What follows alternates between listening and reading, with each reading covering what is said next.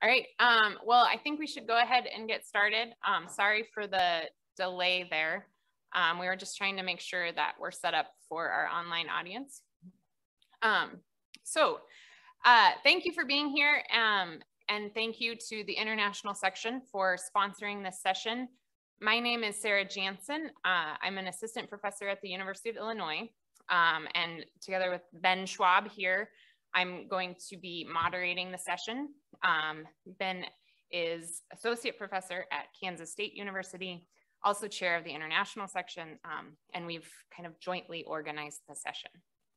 So the purpose of this session, as agricultural economists, uh, many of us, although not all of us, work at land-grant universities, land-grant institutions, um, and we receive hatch funds to conduct research.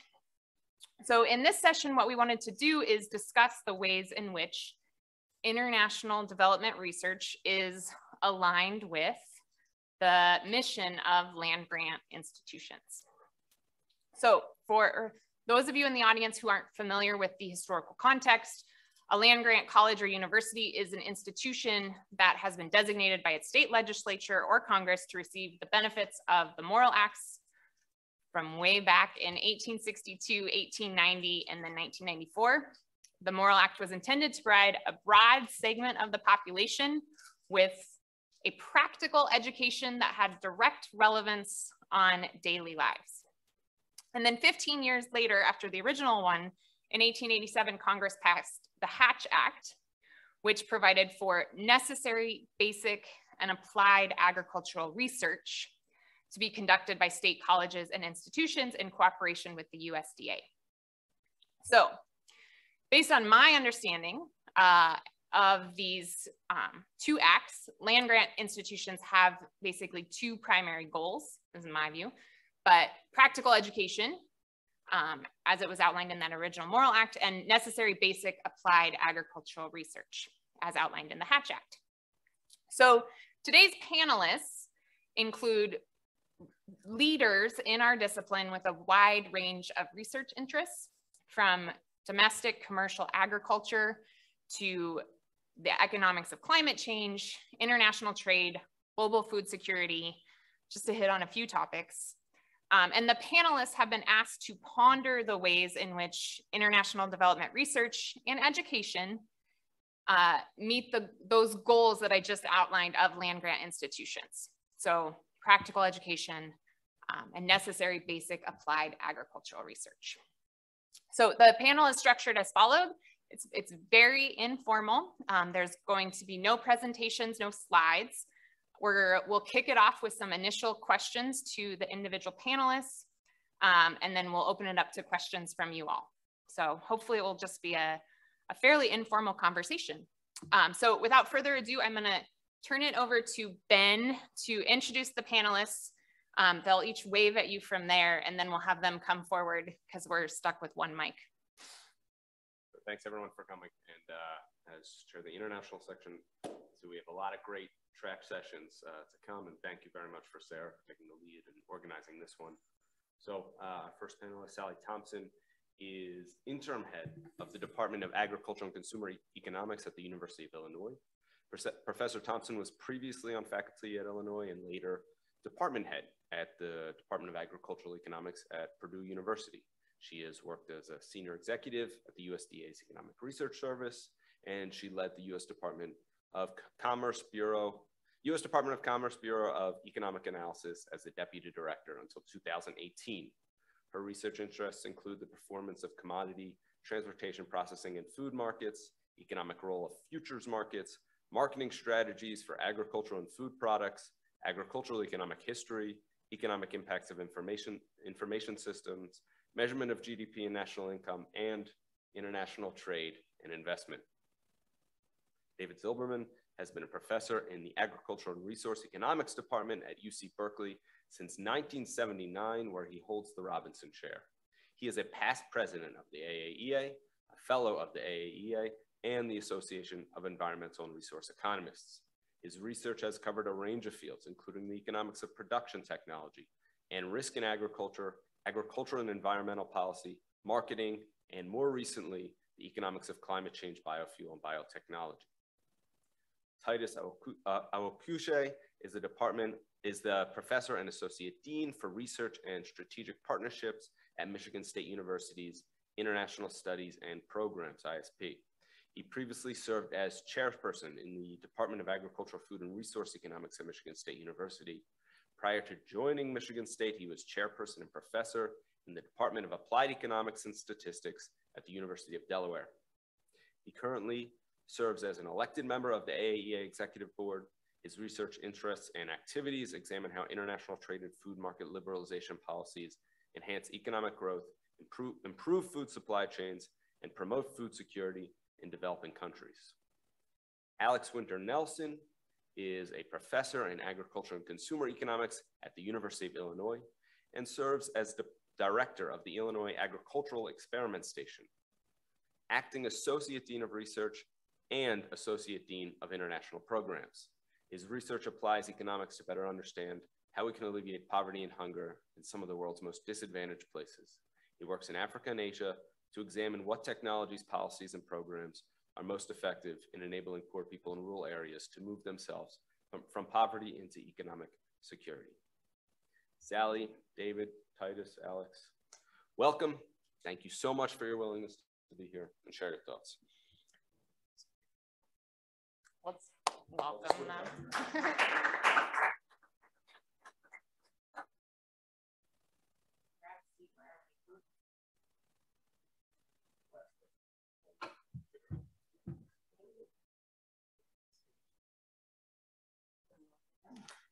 got screwed over. You got it?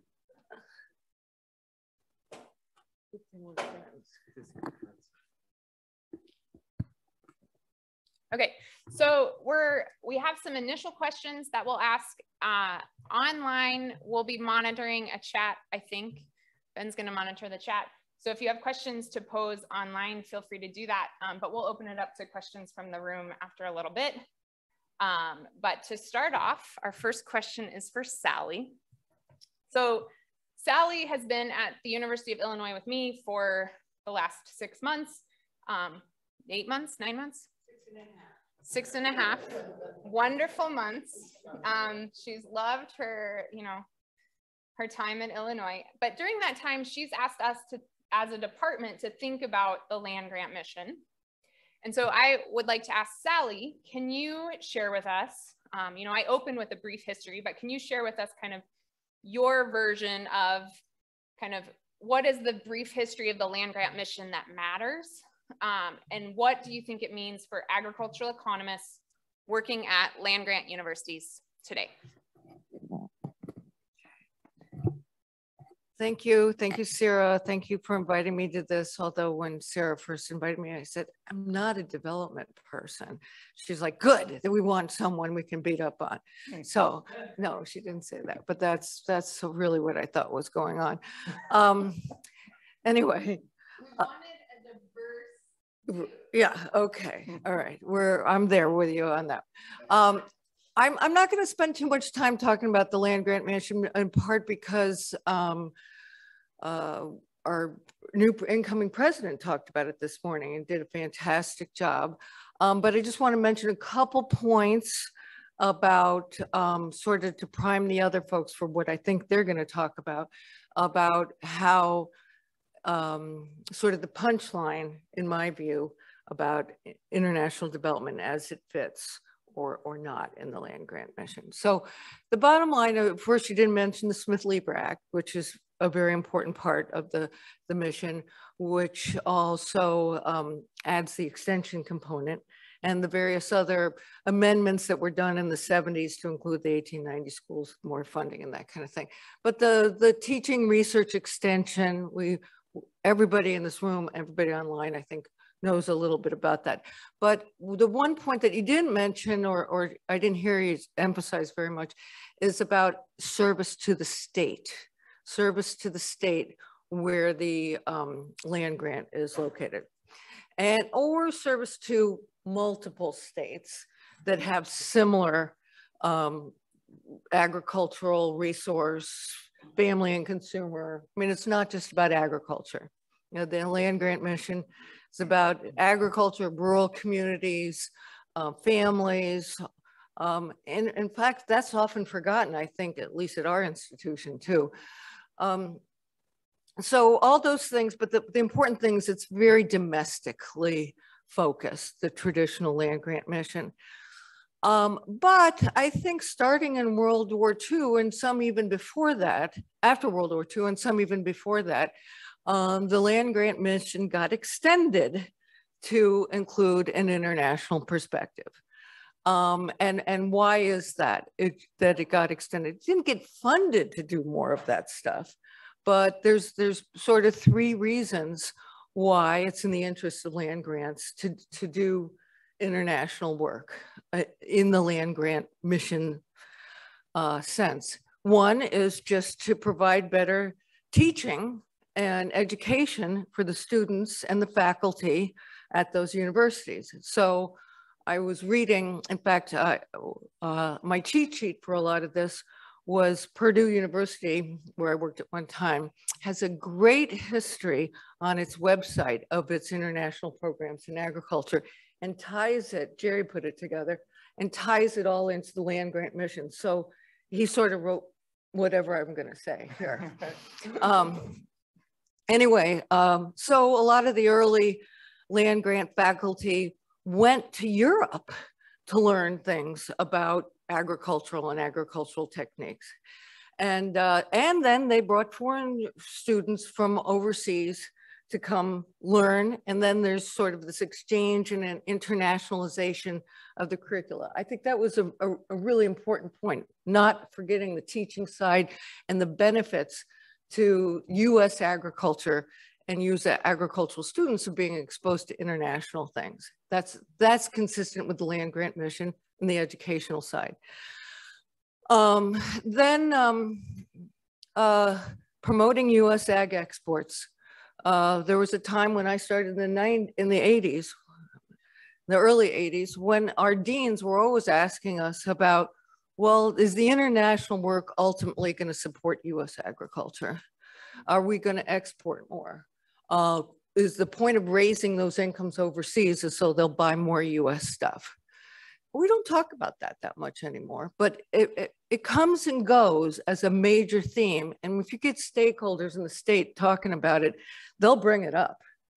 Um, in fact, um, I remember you know, there was all, all concern about we will never send another faculty member to work in Brazil again. That's what they were saying in Illinois in the 80s because they were starting to eat our lunch on, on ag exports. So but that's still another reason for doing international work in the, in the land grant sense. And then um, the third one is political. USAID is, is, funds all this stuff and it's, you know, a political arm of our, our country and to create allies ever since the Marshall Plan, and then in Kennedy started USAID. So anyway, um, I think the land grant mission, teaching, research extension as applied to the states or states with comparable issues has been extended to include this international development and internationalization. I would consider it part of the land grant mission now. It's just not funded the rest of the way that uh, traditionally the states would fund and the Hatch and Smith Lever money would fund the other components of the land grant mission. But anyway, maybe there's a little more than, but I, I, I didn't think I needed to remind people about too much what extension was in research.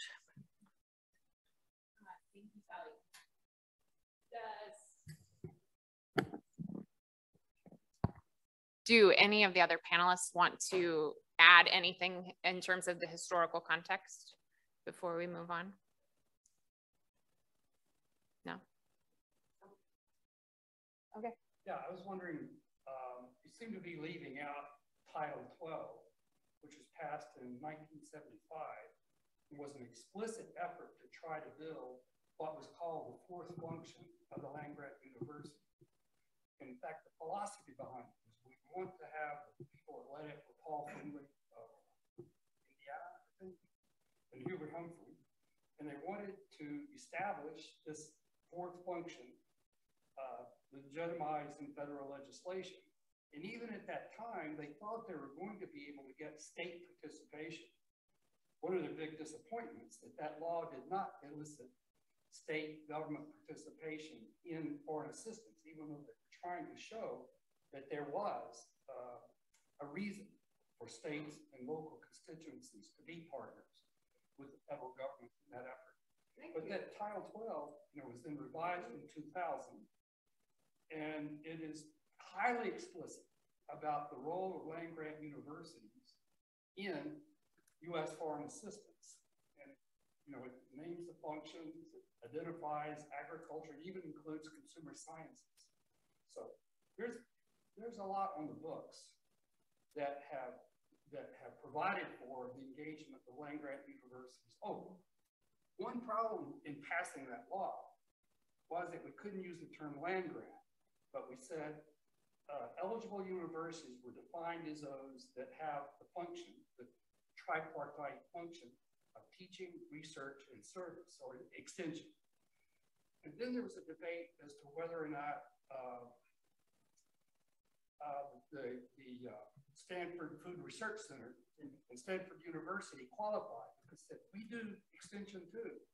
So it was a big debate uh, on, you know, not online, on the phone, in which this, in which this is resolved.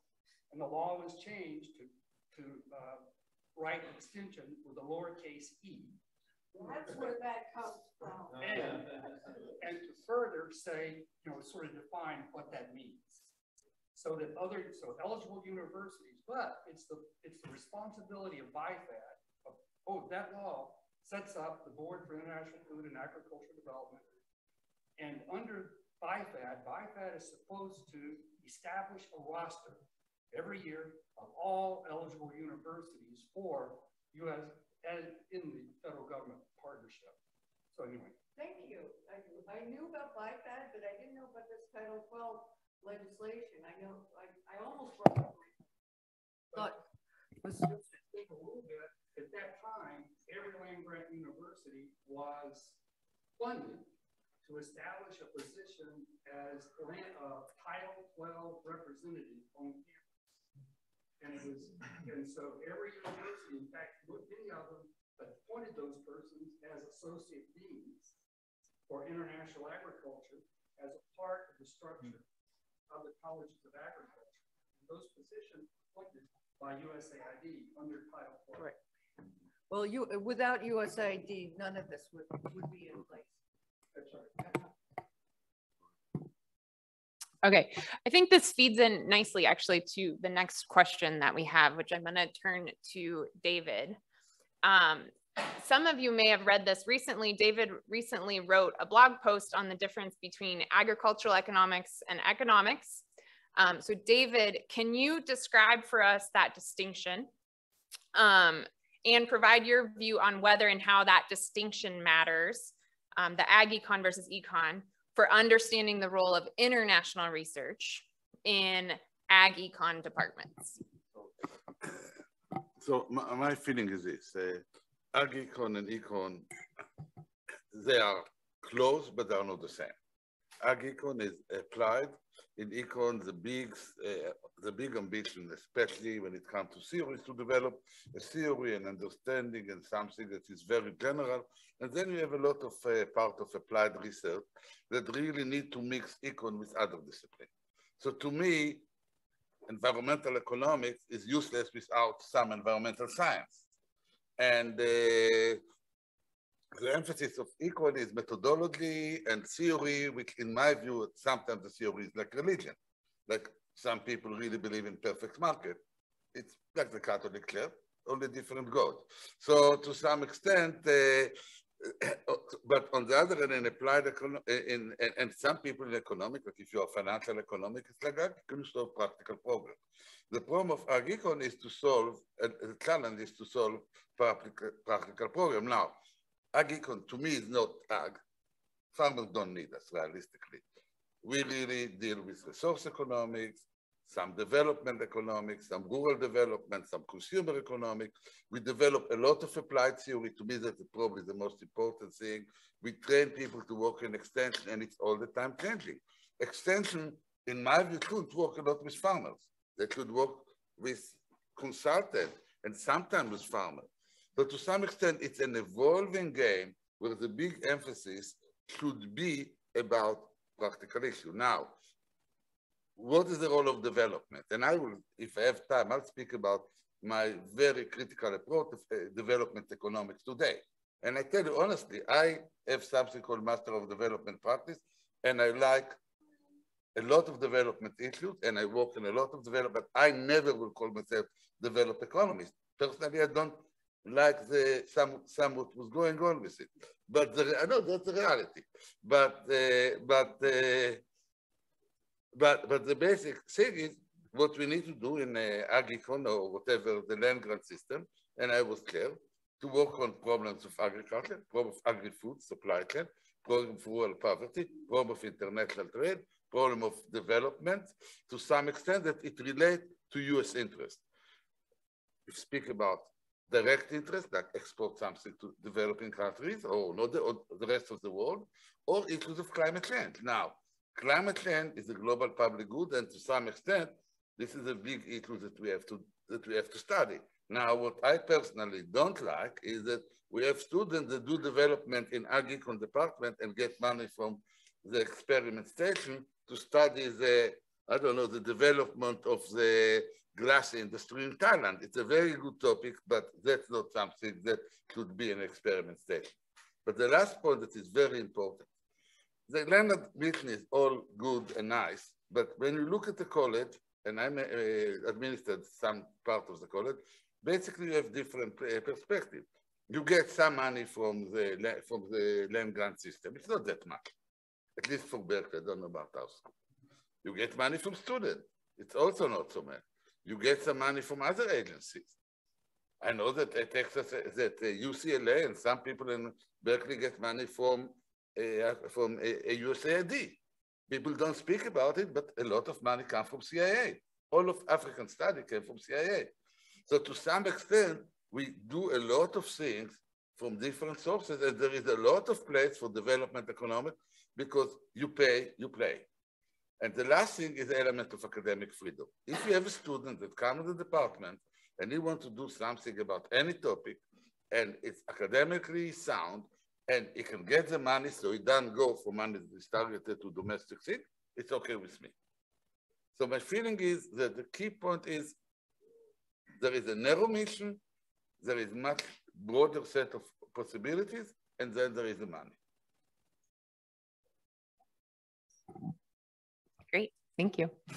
Does anyone on the panel want to comment on the difference between AgEcon and Econ or respond to anything that David just mentioned?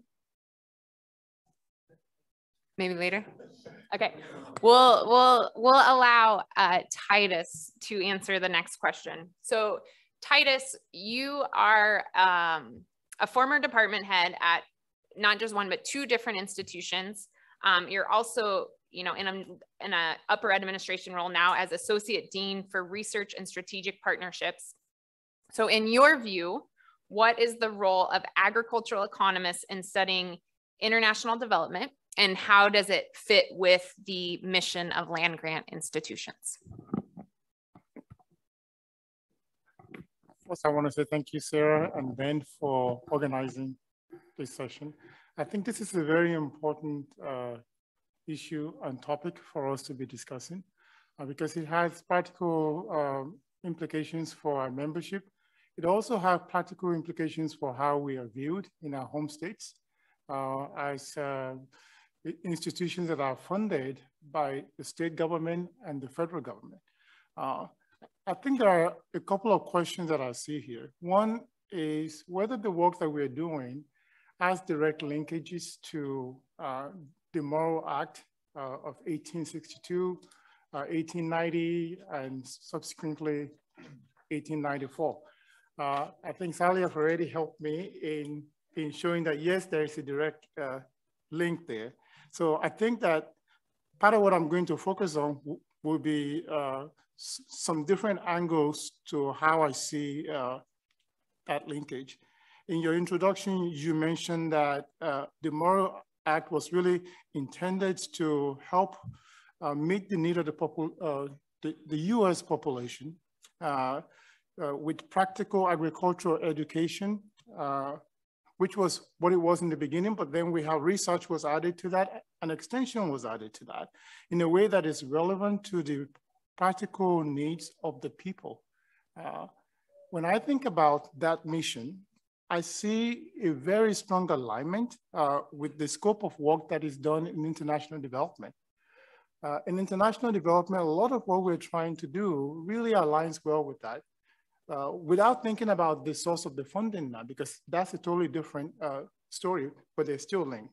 So when I think about uh, international development and the impact of the work that we do there, um, not just agricultural development, but looking at uh, development broadly, I will say that we can look at it uh, from three perspectives. A lot of our work helped to develop global human capacity. Um, in various ways. We also help to develop local institutions, uh, political institutions, economic institutions, even social institutions, in order to facilitate, and I think this part is very important because it's in the US interest, in a broader sense, to help facilitate global resilience, uh, to mitigate fragility. A lot of US funds today is going to support countries to ensure stability and fight uh, terrorism. But terrorism is not a, uh, a problem that is isolated from many other things. Uh, it has to do with a lot of the basic needs of the people in those countries. And as we can see, that is interconnected uh, with uh, food security in the United States and political uh, security in the United States too. And thirdly, the work we do in international development uh, also help to develop the knowledge base for generating uh, innov uh, innovative solutions uh, to address global uh, grand challenges. And that includes issues of cl uh, climate, uh, food insecurity, hunger, and nutrition issues. So these categories of what we do in agricultural development or development economics, broadly speaking, aligns really well with the, the land grant missions. I think where uh, th the question really lies is how that is linked with what we do in our own institutions, in our departments and in our colleges. I think that's where the challenges are. In my roles in two institutions, we always fight this battle with the dean's office and with the university at large to show that uh, the work that our folks who are interested in international development are doing are relevant and should be funded by funds from the university and the state.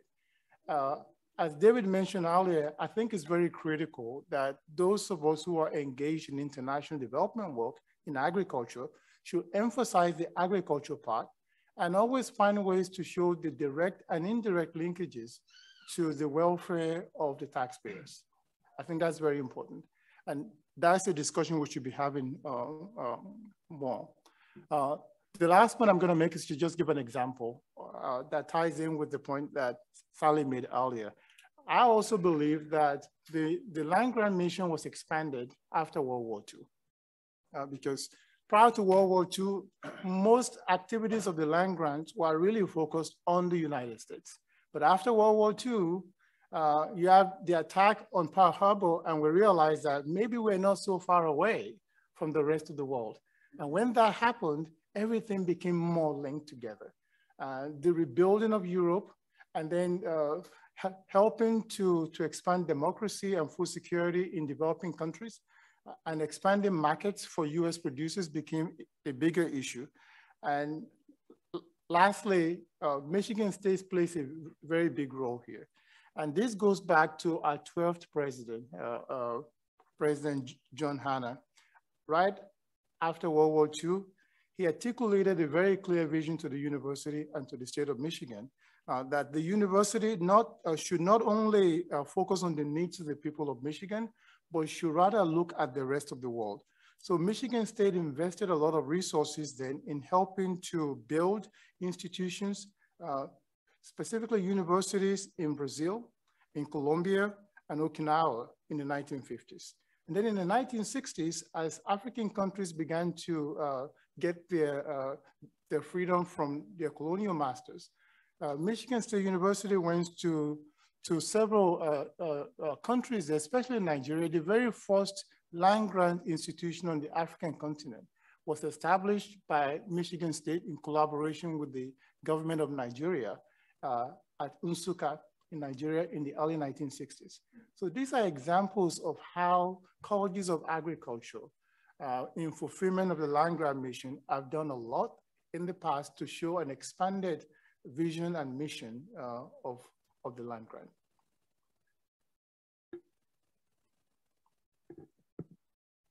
All right, thank you.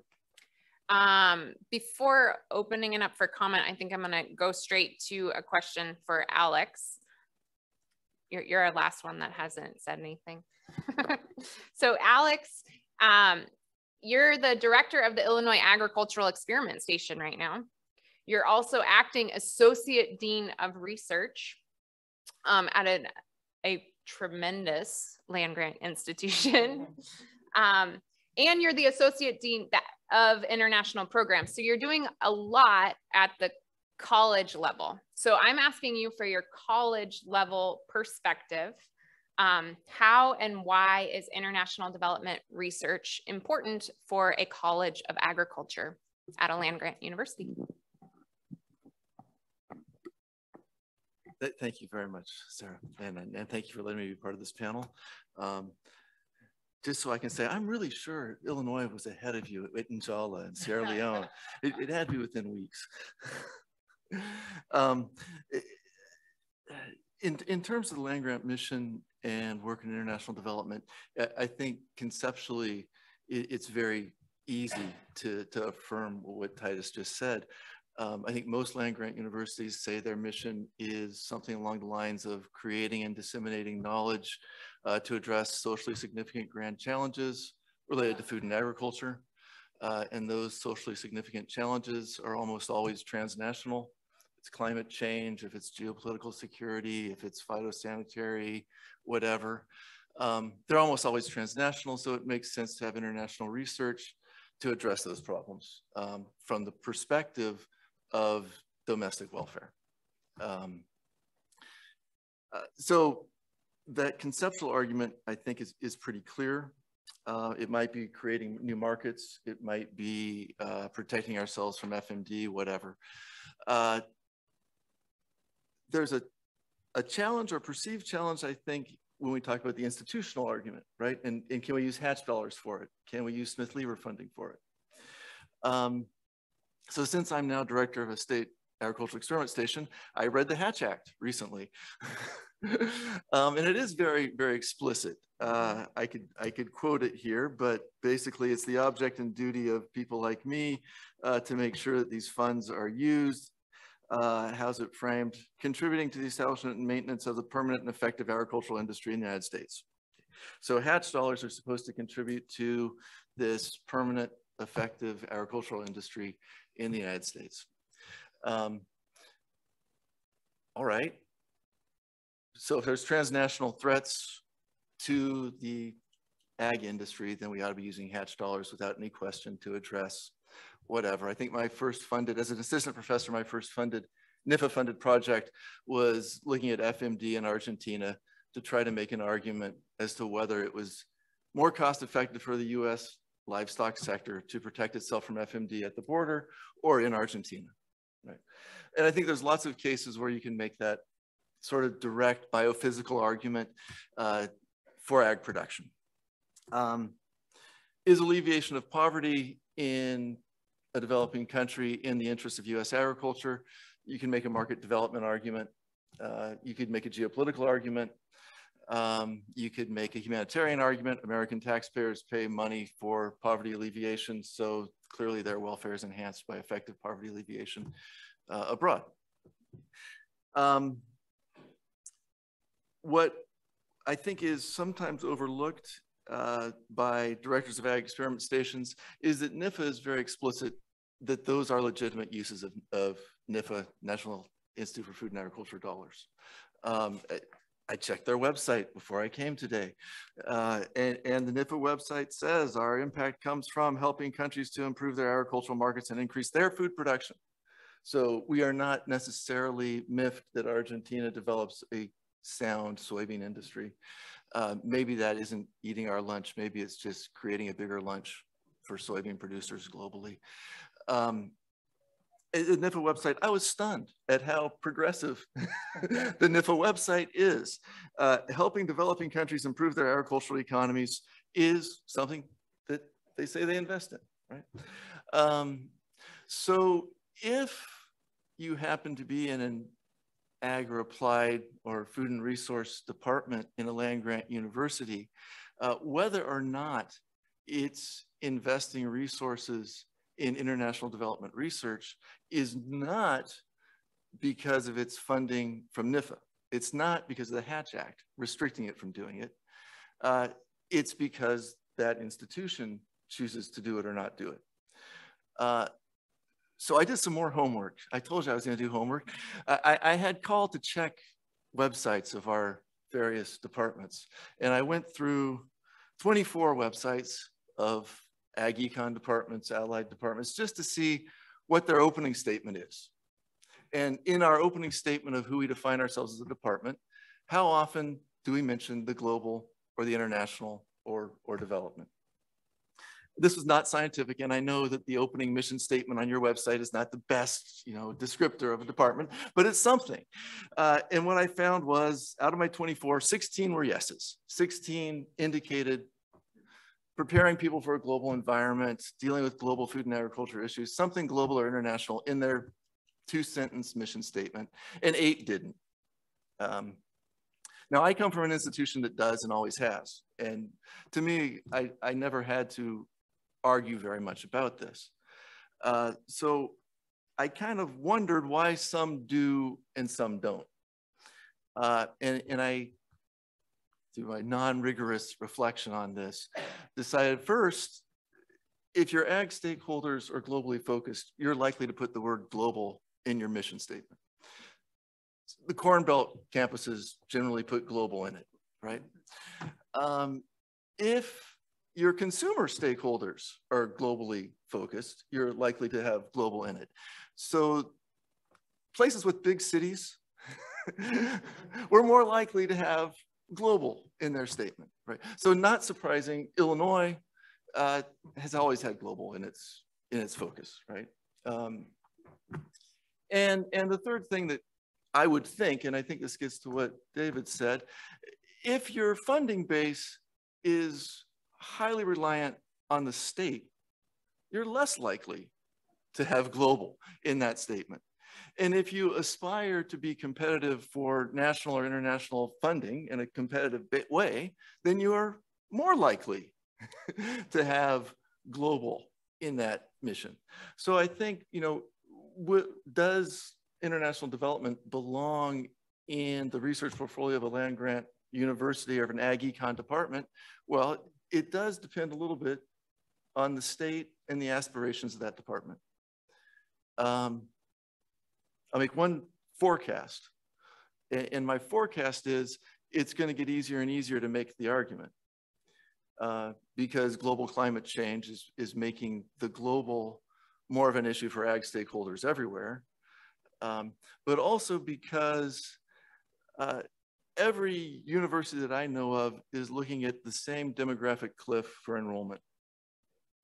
Uh, that there aren't enough 17 year old Americans. and so every land grant university that I know of is looking to broaden its enrollment base either by non-traditional older students or international recruitment. And you can do that a lot more effectively if you can actually show that you know something about international context that people hate to, ha have to go back to. Um, so that's that's the homework I did, Sarah, based on your question. Um, sure, can I follow up? I, I okay. think David is dying to follow up. I don't know. No, I don't know. No, I, I, no, I, I, no, I, I think that you raised a really important point. And to be honest about it, there is a big difference between the land grant and the Hatch Act. I was running the Giannini Foundation. Every time that I did anything that related to development, I got my head, I got slapped. Mm-hmm. On the other hand, we do a lot of development.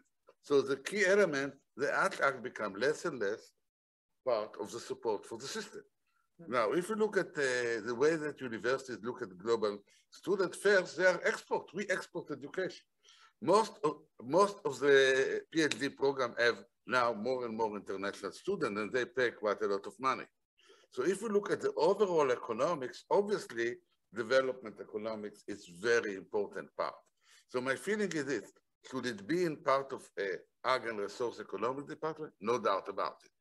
How would you pay about it? This is, this is a different story. Now, a lot of time you have to go to your dean and you have to educate them about economic rather than about the, the Act. If you can get only local student and you're doing well and you are not interested in anything in plant biology, great. In our department, we wouldn't have agriculture department if it wouldn't be a global department, if it wouldn't allow, and we will use all the money possible. One thing I learned, and I'm sure that uh, you know it better than me, you need to try to get as many resources as, as possible. So to me, a key element is to distinguish. Now, the other thing is the issue intellectually, we are in a globalized world, we have climate change, research and development is global. I think that 30 years ago, it was worthwhile to argue that uh, agriculture is an export industry. Now it's quite trivial.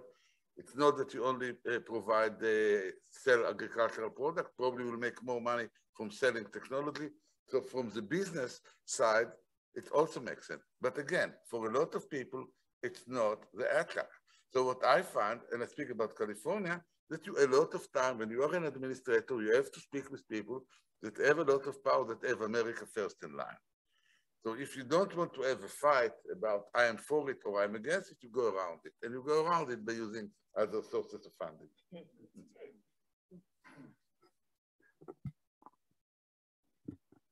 Oh, Sarah mentioned when she introduced me that I had talked a lot when I first arrived at Illinois about the land grant mission and had our dean speak and our CFO speak about it, who's Paul Ellinger, used to be department head. And what makes Illinois a little bit different nowadays, and I don't know about all the state funding models, is that there's no separate colors of money anymore that come to departments. It all comes in one pipe from campus and, and the metrics that determine how much money you get are, are arcane. But um, it appears they're student-based, but they are and they aren't. Um, it, it's not well understood. But uh, in my Rip Van Winkle type experience when I was at Illinois from the 80s and the 90s and early 2000s, um, it was very important what color of money you had on your um, each person's appointment, whether how much experiment station appointment you had, how much extension appointment, and associate deans were very jealous of each other and guarded when those their monies and that kind of thing. Well, and, and in, in some ways, it's much simpler now that we don't have those colors of money. But on the other hand, the new faculty and uh, that have come in in the last 20 years don't necessarily have an understanding of what it means to have an experiment station appointment or an extension appointment because they don't see dollars associated with that in their salary. Now they may get some hatch money from Alex and they could go to a trip and, and maybe have a grad student occasionally, but they don't really see how that differentiates our College of Agriculture and Consumer Environmental Sciences from the business school or the liberal arts, what have you, because we look like them in terms of the money coming through this one pipe. Mm-hmm. And so I wanted, I was more concerned, um, and I didn't want to start off my remarks this way, not that people um, were um, didn't under, they didn't understand the land grant mention as understanding the service we were obligated to provide to the state as part of being a state of Illinois land grant. And so no one would argue that we, we shouldn't be doing international development, all sorts of good reasons to do it. But the argument had to be made, we need to be working for the state of Illinois. Mm -hmm. And that was the tough sell. And I think that's still a little bit of a tough sell in the department. Um, so I'm not here to talk to you guys about you just stop working in Africa and go, you know, go work in downstate Illinois. But um, we don't have anybody working in downstate Illinois. None, no one. Our new department head may get somebody working in downstate Illinois. I bet she will. But th- this is that's the genesis of where my interest in the land grant wasn't to say stop doing the development work. It was think about what the balance should be going. What to David was saying of of our portfolio, and I, I thought it was a little bit out of well, it was uh, ambiguous. I think. I'm going to add a few comments here. Uh, I think that there are uh, things that we discuss at the philosophical level, and there are things that we have to discuss at the most practical levels.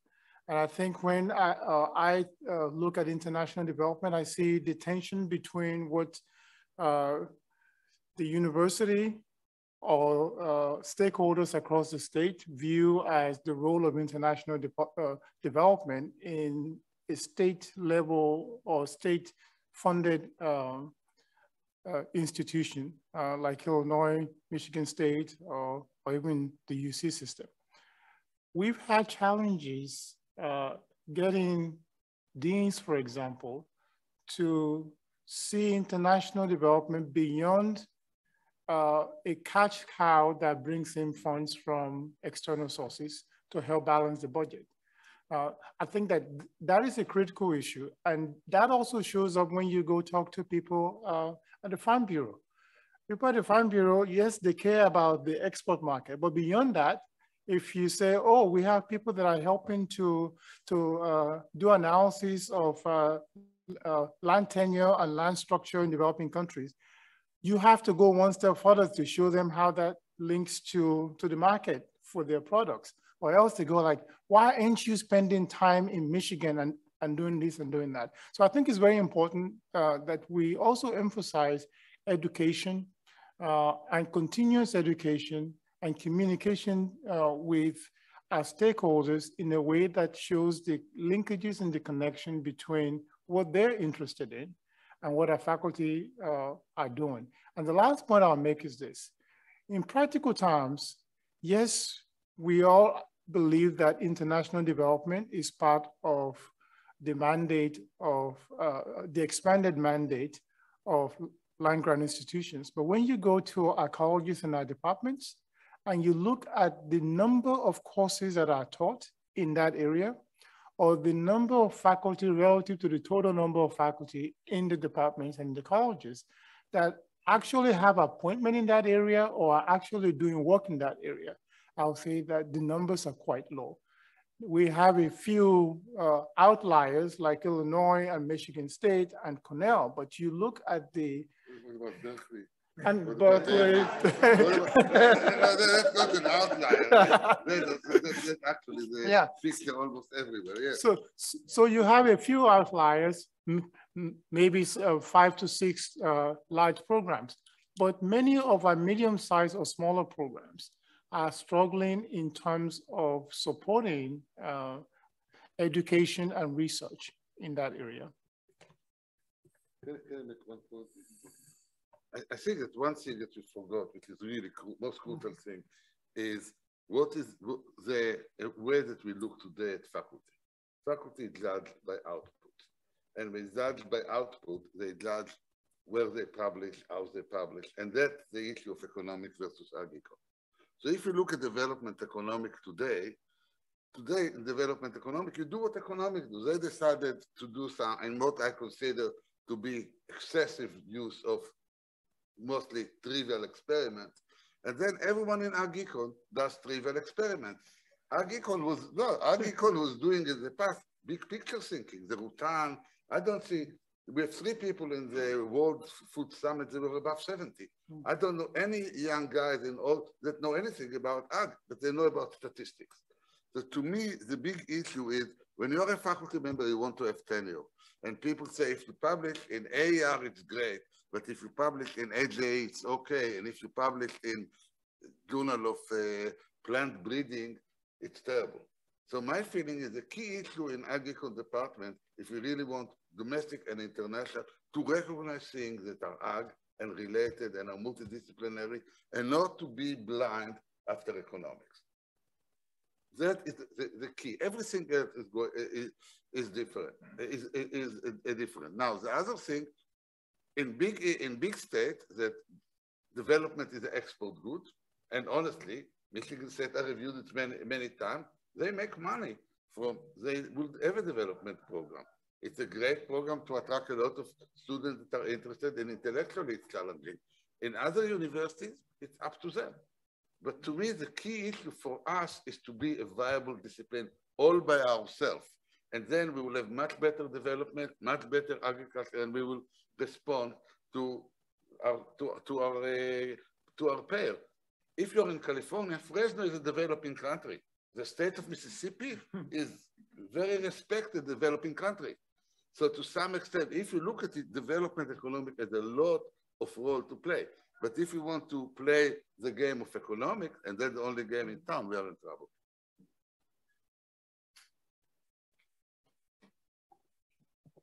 All right, thank you. Um, I think, yeah, I think we should open it up to questions from the audience. Um, so if you want, you can direct a question directly to somebody, or you can direct it to the whole panel. Um, if I'm gonna ask the panelists to repeat the question since we don't have a mic so that the people online can um, hear them. So we'll start, we'll start here and then we'll go to Travis in the back.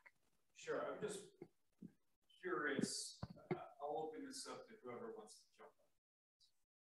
But this, both the land grant mission and how we interpret international development research in the post era when the United States had very rich funding. We were you know, Bretton Woods, it was post-colonial era came on, Cold War. And so I haven't heard any comment here about the Cold War rationale for international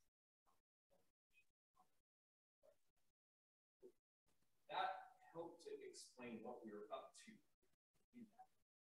But the composition of both geopolitics and where the country now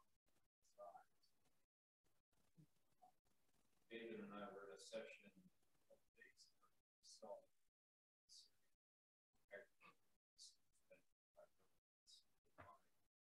China left us way U.S. funding has been flat or downward trend, so we're in scarcity environment. The series, the surprise of it is that both India and maybe Brazil have caught up to U.S. public sector. So in an environment where uh, developing countries are now spending more than we are.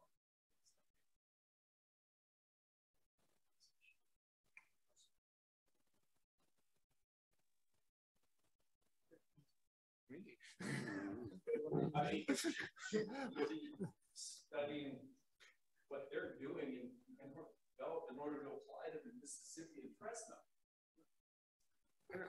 I, I, my feeling is this: we really don't. What happened is that we have a the main role of the uni, uh, of the university research now is to educate students, to educate uh, practitioners, and to and to develop the frontier, biotechnology, environment.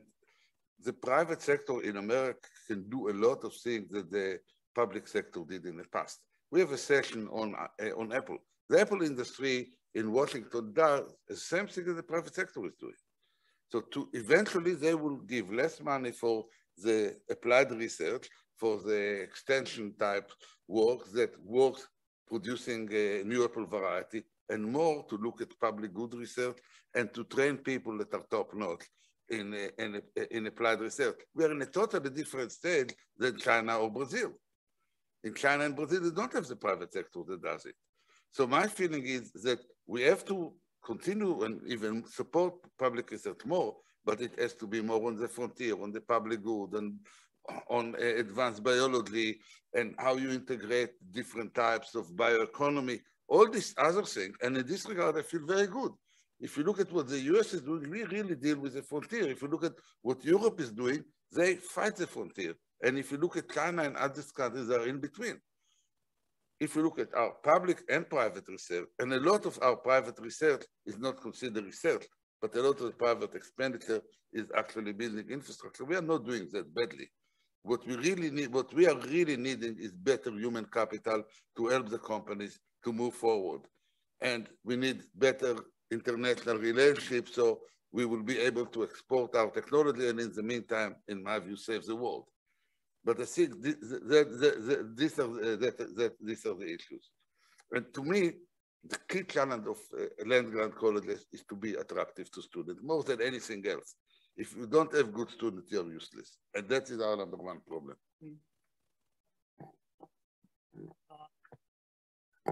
I think that from the examples that you mentioned, um, especially the Cold War, um, the key driver that we all agree uh, uh, behind the, the level of funding and support for international development is politics. Uh, yes, it's the combination of the political economy uh, uh, uh, factor, but I think lately when you look at the United States, relative to how things were maybe a few decades ago, the politics is translating to a more protectionist and more inward-looking uh, electorate. And because it's a representative uh, uh, democracy, the electorate drives the, uh, the motivation and the actions of the politicians that allocate funds.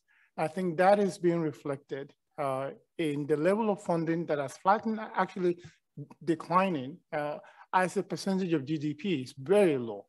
Uh, I think another point that was made uh, just now by David is an important one. I think there is a, a slight difference in the, uh, the interaction between government uh, and private sector in terms of funding uh, and support for, for international development work. I think that there is probably a more robust uh, interest in the global economy by the large multinationals uh, in the US and of course in other places too. Uh, I think the, the, political mindset about the size of government and the role of government uh, has been driving the decline that we see uh, in support for international development. And if that is to change, there needs to be better communication and education of the US uh, electorate about our interdependence on the rest of the world, uh, that we are linked to the rest of the world and, the, and that the US cannot uh, take the posture of we are big enough and we're so strong that we can go at it without the rest of the world. Let me just make a couple poorly informed points. Um, I see somebody here from Purdue University. I'm going to mention something.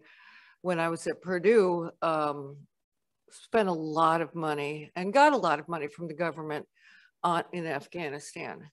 And, uh, and now I know we're mostly talking about research, but all these things are usually bundled up with research, education, and outreach and all that stuff.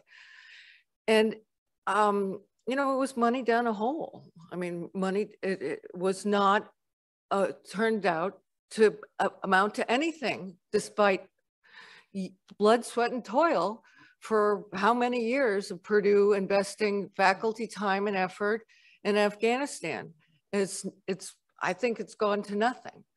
Um, so, why was that? It was for, for obviously we're doing it for uh, political, uh, global reasons, but, and, and everybody had the right, oh, I don't even know if they had the right interest. They tried to convert things to a market-based economy and do things that were just never going to work. So, you know, there's a sense we're not talking about all successes out there.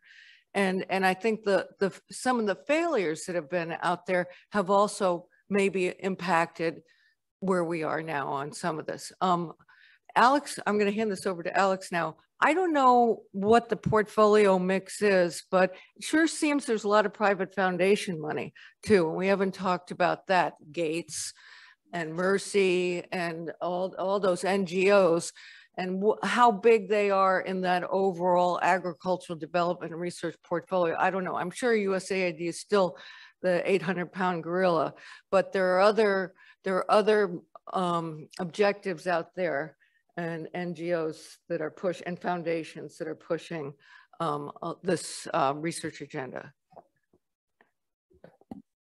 So I think that's a great question, a great comment. Before I get to it, I want to go back one. Uh, one of my previous roles as, as Director for International Agriculture at Illinois was to say no. Be, because there are a lot of opportunities to take funding to do things that really aren't a land-grant university's job. Um, and, and maybe that experience in Afghanistan is a little bit like that. Uh, and I was really fortunate to have a dean who was also ready to say no when it felt like somebody wanted to put wanted to put University of Illinois on something that really wasn't within our mission and likely to, to do good, uh, which is hard. It's hard to say no to ICR. Um, I think the privatization of agricultural research, which is something that's been going on for 20 years now, I think if you look at the trends, I didn't see the talk earlier, but I think the trend goes back for about 20 years, is a important phenomenon. I was going to say distressing, but I don't want to, don't want to over dramatize. Um, it has clear implications for right the rate and bias of technical change in this country and, and globally, and that's important. Um, when when you look at then the portfolio of publicly funded agricultural research, it becomes increasingly important that what we do within that portfolio is in the public good, because we used to have a lot of right private benefit in our public research portfolio. And if we were to segregate those better, it wouldn't necessarily be a bad thing. It, I mean, it'd be a good thing. Um, and then that gets to then how do we affect the public research investment portfolio, right? Um, and uh, in my brief experience uh, trying to do that, what, what I've discovered is a little paradoxical, which is it works better if you have a private sector person with you making the argument to the policymaker, right? Uh, and so how do you, how do you ensure that uh, the, the public research portfolio is funded by the guy in the state legislature is by making sure this, the ag stakeholder is there with you saying, yeah, it's a good idea. How do you simultaneously make sure that it's in the public interest and not highly distorted by that stakeholder? Um, I think that's a challenge before us that I don't have the answer to, but.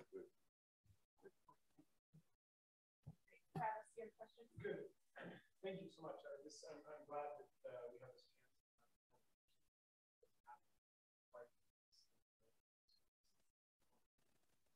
um, so I have a question that's more of a generational gap that's really apparent here. Um, between, like, you as analysts have this, this very rich senior perspective on institutions, funding, from sources, colors of money, back where the money comes from, what does it mean? For, like, and, and that's great. And so, like, you know, Titus, when you you advocate for research international researchers doing a better job making the pitch that it matters, that it's relevant to California.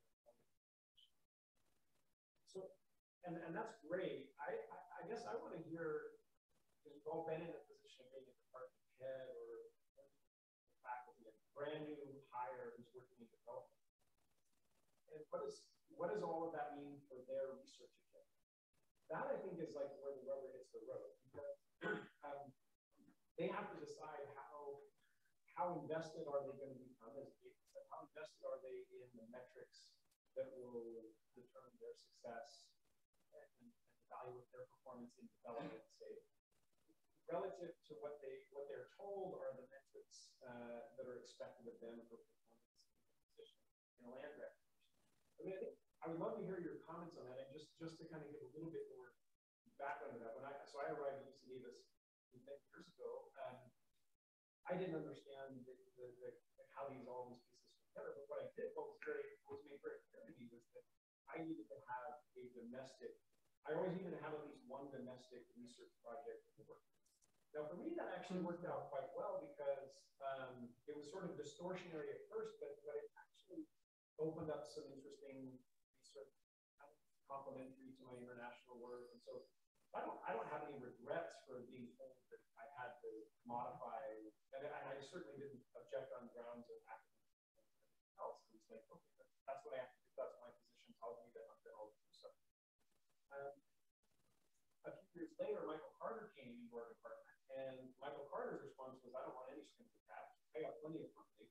So there was this really complicated, convoluted negotiation to opt out of hatch funding for him. So he, so so this was like a very different junior response versus senior response where um, And so I'd love to hear your perspectives on like how, how much ought we to protect our incoming junior faculty from these constraints, whether they're institutional or funding, or should we just like accept that that's part of that's the that's that's part of the territory, and they're expected to to pull their weight with respect to the states they're in.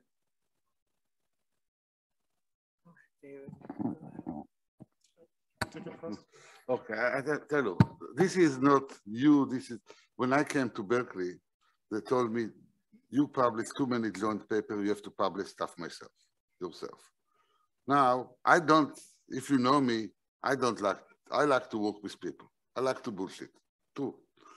So I, so I, so I continue to write paper together, and whenever you're judged by academics, so to me, but people don't tell you that the only thing that matters is the output. At the end, I don't know anyone that didn't get tenure or anything because he didn't do, do A or B or C. So to some extent, you, the key element that you need to have is confidence. And, and I know Greg. Greg, he's totally different the profile of AgEcon. He published, he's great. He didn't publish, he will work someplace else. Now, the one thing that is important, and this is a big challenge of leadership, is that we are the, so we are the dean that generally colleges of agriculture are below are below anything. They are really low. So we have a dean who was a member of the National Academy of Science, and he was very good. And he came to the university and he said, gosh, we have to solve real problems. So forestry, we have fire. If you publish in science, you don't solve a fire. But if you publish in journal of pine trees and fire, there is a chance. So they recognize it. Now, the problem is, is the leadership. If you have a department head that say, this is what we accept, and we don't really want to be the best science magazine, but the most relevant thing, you, it will be accepted. So to some extent, a lot of time is depend how the leadership convince the university about what is relevant and what is good and what is not as a faculty member, I think a lot, the, what I think I do, maybe it's arrogant of me, because I was a student in Giannini, I realized that 80% of the students of the faculty shouldn't be good mentors. They hardly got tenure. So you really have to choose your mentor. Not every time that someone, because he has a title, tell you something, you have to listen. You have to do the best work that take advantage of your strengths. That's my view. Yeah. I'll, I'll, try, I'll try one Not to skip you too much because I'll hand it back. You know, that's a good question. And I've been at enough universities to know it varies by different universities. Um, I'm going to bring up a really boring subject, but you know, the annual reviews of faculty, are they on track? Are they meeting expectations?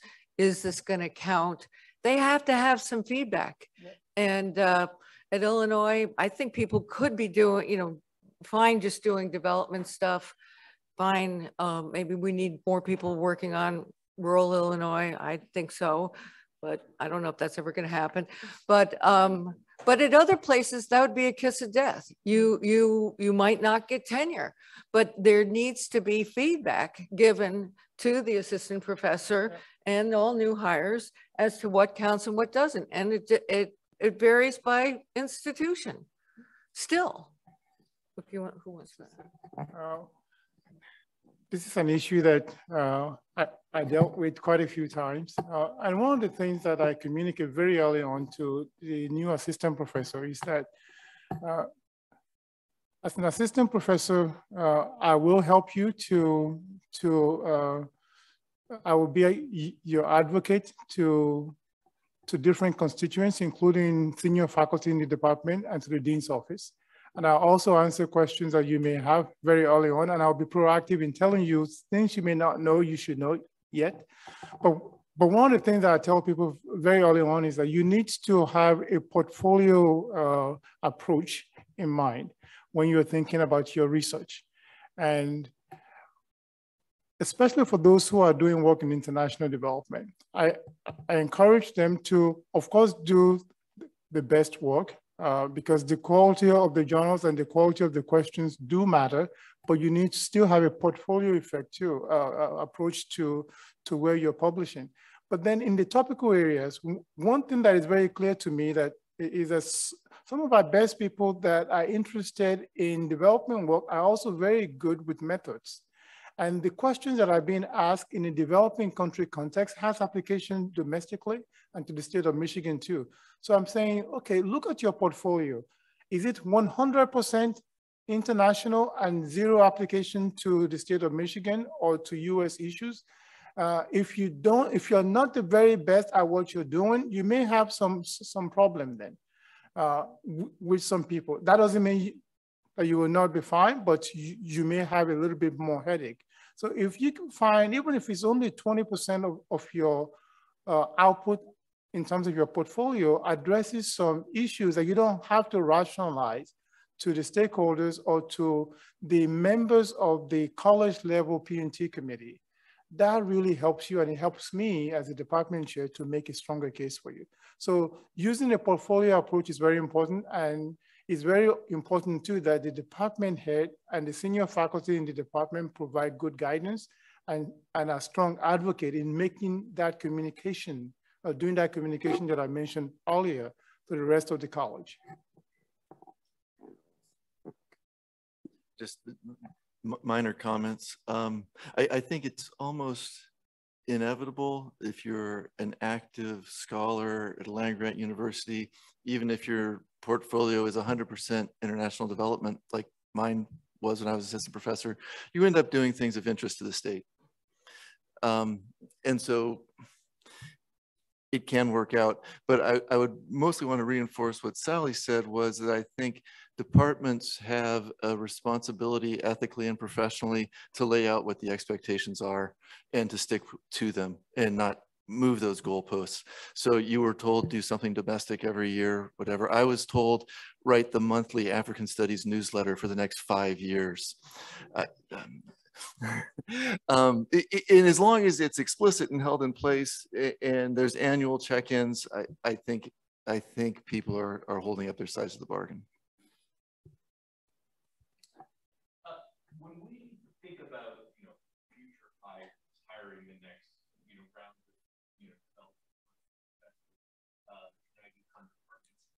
feel like just in my tenure at Purdue, you know, advocating for that is like competing against the demographic transition that's going on. So, you know, Purdue used to be like 45 faculty. There was a big group doing development, but as there's been retirements and attrition for reasons, you know, we're not and you know, the college you know, gets resources from our undergraduate program that they use to support. So the focus tends to be on, you know, we need to hire more ag business position, hmm. Whatever. So in some ways, there's almost nothing. It's it's a challenge to hmm. try to, you know, push against that. I don't know if others have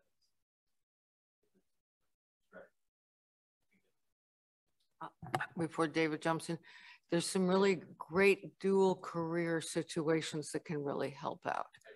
Yeah, you have to be open you got you got to be lucky. yeah. I, I, think one thing, like, like I look at Tom Reardon, he's a good friend of mine, and he's development, but he's agribusiness.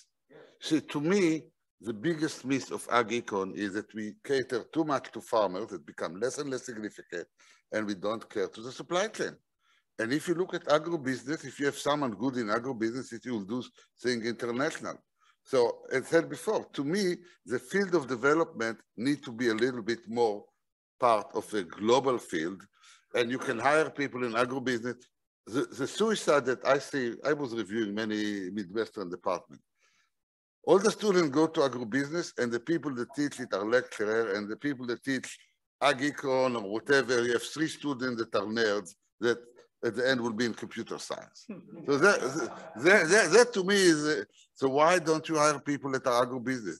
So you don't publish in Econ Journal, you publish in a business journal. So to me, the biggest challenge is where do we want to be five years from now?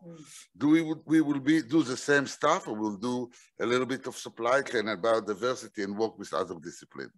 So so so to some extent, I would really raise topics and direction rather than say, gosh, this guy retired, let replace, let have a replica of it. It wouldn't work with replicas.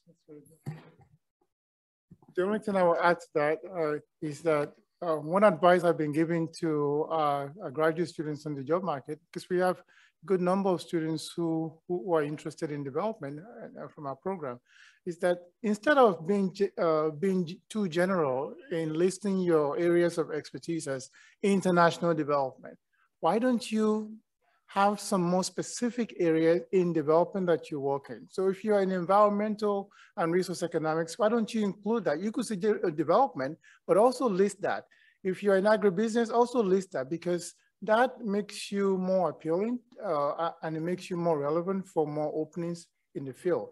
Uh, as you mentioned, we have some, some folks that for a job that is asking for an environmental economist, even though they have interest in developing countries, they have the skills uh, and they have the, the capability to teach those courses and do research domestically and globally. So I, I think uh, the narrative really matters and how we tell the stories of what we do uh, does matter too, so that we can have more people that we hire that can do development, but can also teach those courses. Because one of the challenges that uh, I've had, and I'm sure that other department chairs have had this, is that we think holistically uh, in the department about research, teaching, and extension, especially department chairs. But a lot of times, some only think about the teaching part, especially the, the associate deans for, for, for, uh, for education and, instruction will go like, okay, who's gonna teach these courses? Well, we want that too, but we also want people that can help with the scholarship. So being able to tell that story and know how to respond to the needs of the college will be very uh, crucial moving forward.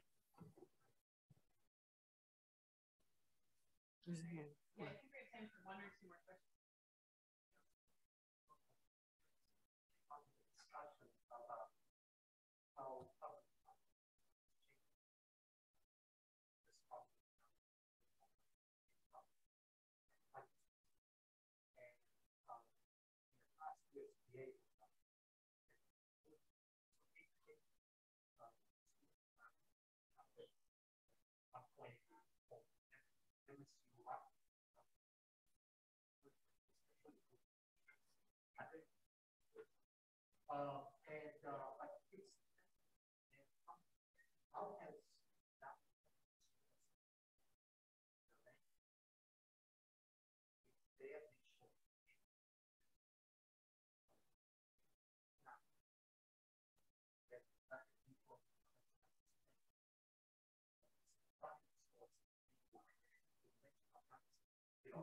you're supposed to take USA, but it's funding more.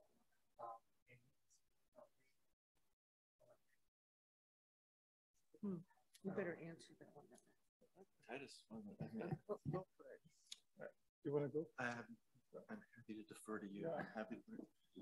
Actually, that's a challenge that we have uh, right now. Uh, when we look at, uh, at the numbers, go back 20 years ago, and you look at the composition of graduate students at Michigan State University, you see a significant representation uh, of African students. We don't have that anymore. Uh, we're struggling to attract African students because of the source of funding and the level of funding that is available. Uh, so there's been a shift there. Uh, now we are trying to do some things to change that, but it has been an uphill battle. So it is a problem. Uh, but one of the things though, that we're finding as uh, uh, prospects for the future that may help us in this area is actually working with our partners in the developing countries, because it's not the story that we, uh, of how things were 30, 40 years ago. Uh, there are strong partners on the African continent and in Asia that are willing to support their students uh, to come to our institutions if we create pathways and creative ways to collaborate with them. Some of them want to do dual degree programs. Some of them wants to have contracts that will have the students come over here for two or three years and then do their research in country. So we have to be open to alternative funding models that are uh, uh, in partnership with the countries where we used to get uh, the bulk of our students. Yeah. Uh, No, I, I just say the same thing that um, having stronger partners abroad makes different models possible, even as AID and USDA have cut off funding for degree programs for degree funding for, for graduate students from those countries. Um, and it, it is good that institutions in foreign countries and developing countries now have agency to pick where they send their students and the terms under which they send them, but they tend to send them to cheaper places. Um, and, and that's a, a challenge. I, thi- I think that the fundamental problem of the Ag uh, Institute, we don't call ourselves Ag Institute, Natural Resources Institute, we're not sexy. And we don't have domestic students, and we don't have, so to some extent, we have to scrap. And that's the reason that you move to environment, and then the reason to move to biotech, and that's the reason that agribusiness is so popular. So I think one of the things that we have, in my view, that our faculty is too stubborn to do what they did 15 years ago rather than fit because there are huge opportunities in agriculture. There is, something called bioeconomy that I thought that we will embrace because there are a lot of global opportunities. There are a lot of other things. I think to me, a lot of time going to developing countries is an easy solution. Now it's not easy because they caught up. So my feeling is that we really need to develop programs that really will catch up with the time. And in a way, it's good that we have new faculty members that can really change the program. Traditional development wouldn't be the same as traditional AgEcon wouldn't be the same. We really have to change and work with other disciplines, recognize that today, five years from now, all this econometric will be useless because everyone developed data science and people want one degree in data science. So we realize what is our strengths and instead of accommodating the existing faculty member, we try to see what is the demand and how we can go there. And even when it comes to developing countries, I started something called Master and Development Practice, which is a master program people pay a lot. It's MBA in sustainability. It's program that makes money. There is demand for something like this. Mm-hmm. So, so to some extent, our department didn't want it. We don't want to have MBA students. They're not sophisticated enough. So to some extent, we are in business, and as economists, you need to know that demand change, and you have to create your own demand by know what the consumer preferences are. Mm-hmm. Are there any questions online? We're out of time. Okay, Ben says that we're out of time. He's the one that was gonna keep time for us. Um, can everyone please give uh, our panelists a huge round of applause? Um, thank you for being here. Thank you all for being here. Um, this was a pleasure.